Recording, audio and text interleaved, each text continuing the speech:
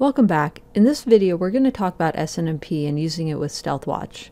There's a reason that you would want to configure this, and if we go over to Monitor and then Interfaces, it'll become really clear once I kind of point this out to you.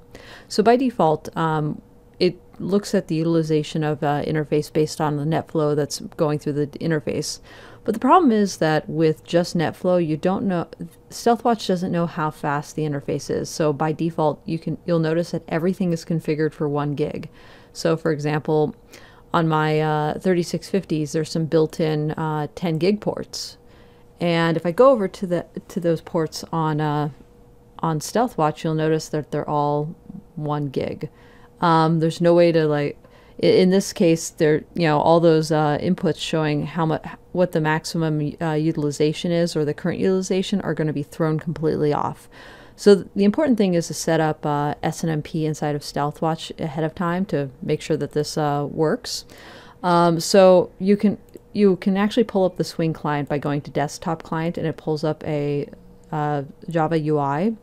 Um, I don't do as much work in this anymore, but you can see here it's kind of, you can see that hierarchical tree of uh, host groups. You can create some custom dashboards in here, but we're going to kind of ignore that for now um, and go over to the exporters.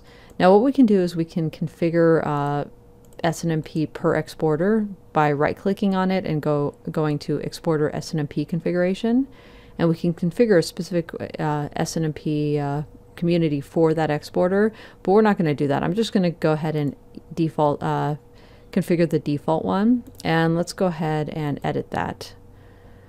So in this case, the default uh, SNMP re read write is the community is set to public. I'm actually going to configure that for my lab one, which is ice cold. Um, you see here you can configure the port, um, the polling as well. I'm going to bring that down to five minutes so I can pause the video very easily. Um, and you'll notice that you can pick some different MIBs. Um, so probably wondering what are those MIBs? Um, so there's a nice little help menu that you can take a look at and it can kind of go through what that is. Um, so let's go ahead and pull that up really quickly.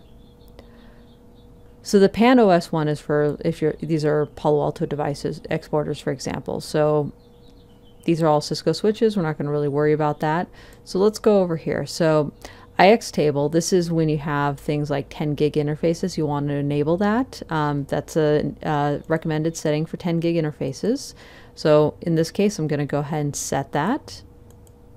And for Cat OS, that's if you're using a, a Cat OS device, which in this case we're not. So I'm just going to go ahead and configure this and click OK and this will apply to all my exporters now. I'll probably have to pause the video in order for this uh, to take effect and come back to this after a few minutes. So I'm going to go ahead and pause the video now. And we're back. So I just realized while we were configuring this that I don't have any of my 10 gig ports plugged in, so it's not going to show the 10 gig ports, but um, there's one very noticeable change that you'll see from the beginning of this video to now.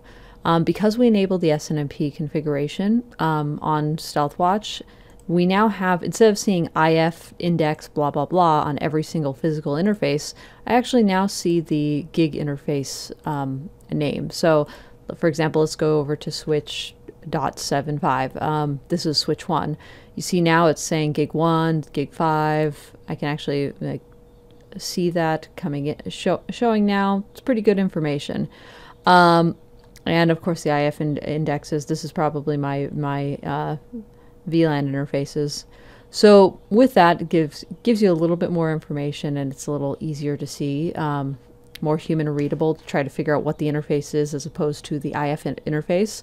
If any of these ports were uh, were 10 gig or anything different than one gig, it would also show the correct speed as well. So it would show the the utilization is correct. Um, in this case, it's just not showing it, and you can see the gaps That there's certain interfaces that are not showing any net flow data. Um, the reason being is it's only going to show the interfaces popping up that there's any sort of flow that we've seen at any time at all. If it's not plugged in, it's never been plugged in since we configured this, it's not going to show here. With that being said, I'm going to go ahead and end this video, but I did want to point that out because it's something that there's just not a lot of documentation on, but it makes it a lot more human readable if you configure this, uh, you know, when you first set up StealthWatch. And thank you for tuning in and looking forward to the next video.